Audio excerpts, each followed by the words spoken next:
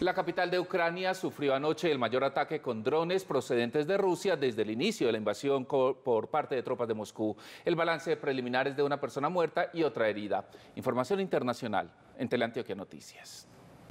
Las autoridades de Kiev informaron este domingo que la capital ucraniana sufrió en las últimas horas el mayor ataque con drones rusos desde el inicio de la invasión.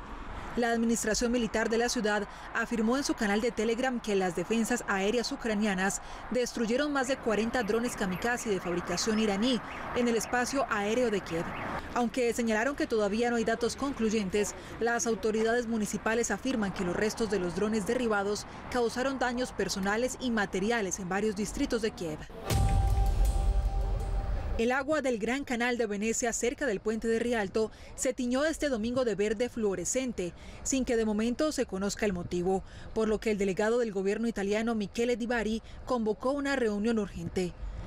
La mancha color verde brillante apareció en el canal que conecta Campo San Luca con el Gran Canal y poco a poco se fue extendiendo por el resto de los canales venecianos. Después del inicio de la Bogalonga, una regata que se celebra desde 1974 y que nació como manifestación para proteger la ciudad.